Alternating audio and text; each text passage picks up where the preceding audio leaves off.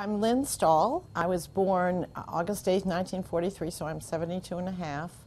And I was born um, in Chicago, but instantly went up to a little tiny town, Ishpeming, Michigan, the Upper Peninsula of Michigan.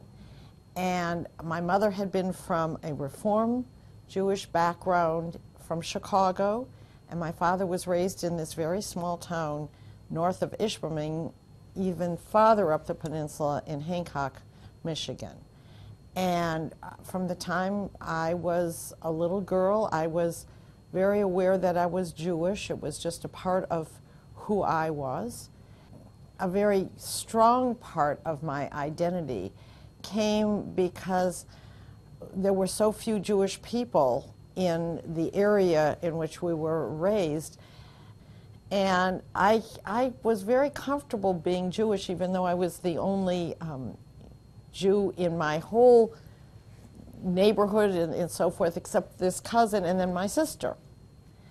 And used to have great big wonderful discussions with my friends in high school who were Catholic and Protestant.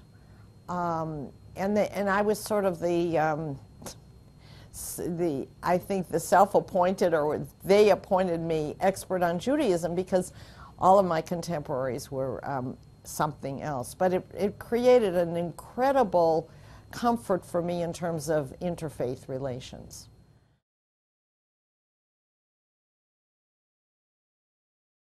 I will say that Hanukkah was a very minor holiday um, because I think my parents, especially my mother, had a huge need for us not to be different. So we had a giant Christmas tree and until we were 10.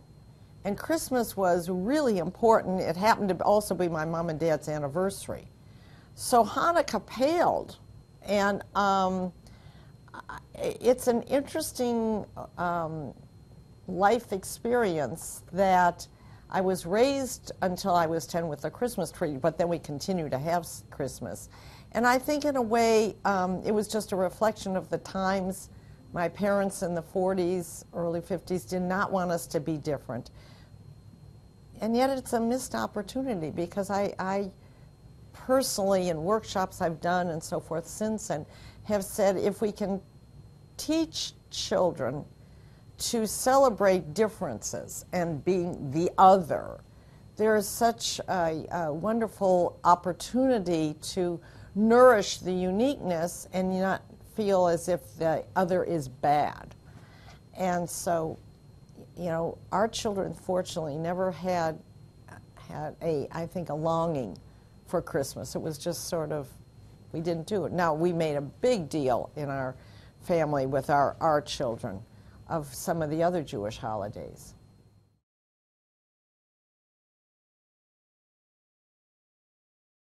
Well, I think that's why I love being married to Sam because he's such an open um, rabbi. He loves interfaith work, and we have no problem going to um, services, you know, Islamic services, Catholic, Protestant, and so forth, because it's, you know, God is God, and so we have different paths to how to get there.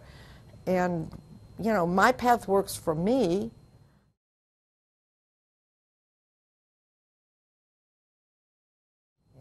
I think the greatest uh, part of, frankly, of being married to a, a rabbi is that people have an automatic, um, not always founded, trust in me because they know, A, I won't talk. I can't. I have to be like a tomb.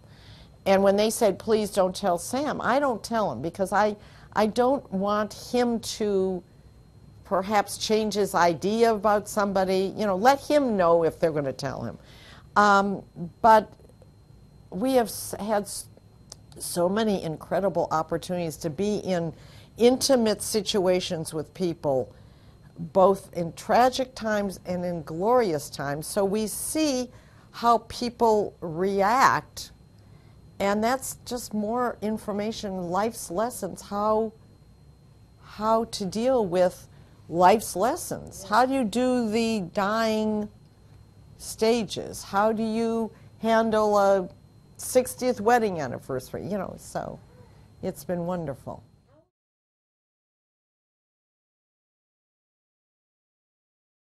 Forgiveness is far more important for me than for anyone else because as long as I cannot forgive another human being, um, it's weighing me down.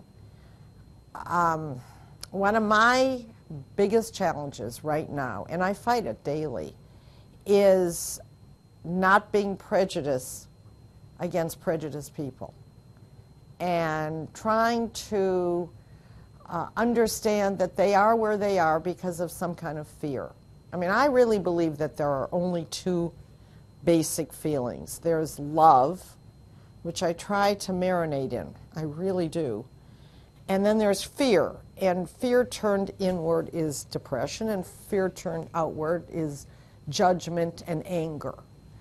And when I get into that, then I'm out of the love. So it's not serving me, you know. And what's that horrible saying? I'd rather be right than happy. I'd rather be happy. And if I have to swallow my ego or, or whatever, um, I have to, you know. So I think forgiveness is absolutely critical to. Um, to I mean, I want to live in the moment. I really want to be in the moment. And if I've got all this stuff weighing me down, I'm not in the moment. I'm in the past or I'm in the future.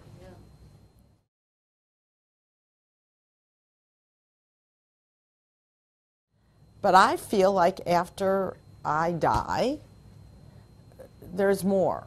What there is, I don't know. Will I be back? I don't know. Have I been here before? I don't know. But I never would shut doors on, on any of that.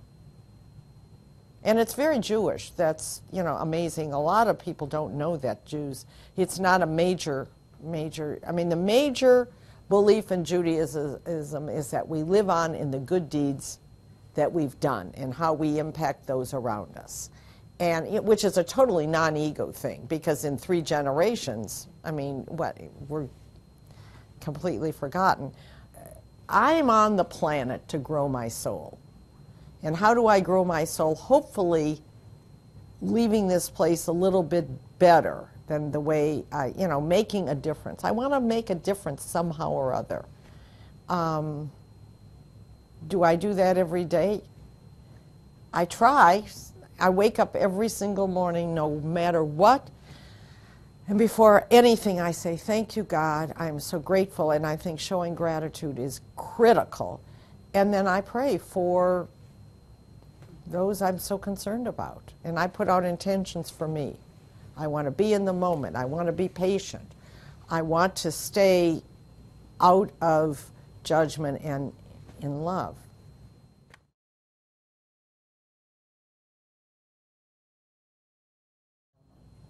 Well, I actually did one last year. I, I, was 72 on my last birthday, and you know, 18 times 4 is 72, so it was a, an important birthday.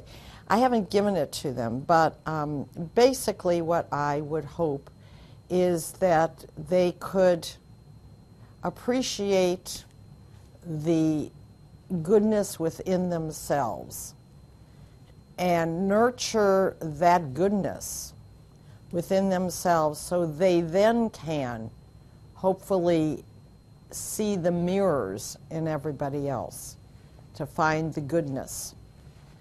I would hope that they would find um, a way to give back to our society um, each and every day. I would hope that they would be able to somehow or other find meaning somewhere or other in Judaism, whether it be um, either spiritually or conventionally or whatever. And I hope they could find joy and enjoy each day, be able to come to the end of each day and say, um, you know, no matter what happened, I could find something today, no matter how difficult it was. I, what I'm so aware of is the one thing I really believe is truth is that no matter what in this world, things are going to change. And so when they're really, really terrible, they are going to get better. And if I can believe that, then when they get good, instead of my worrying, well, they're going to get bad again, I better enjoy and massage that good time because, I mean, I'm sitting here right now, and, you know, who knows what when I walk out the door.